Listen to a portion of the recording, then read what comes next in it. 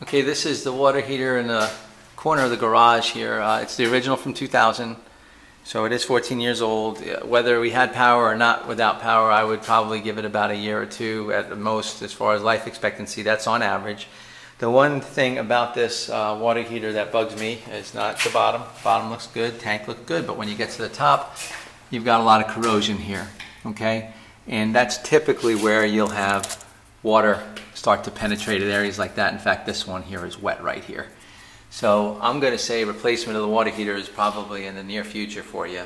Regardless of the results, if we come back when power is on, replacing the water heater is probably going to be a reality.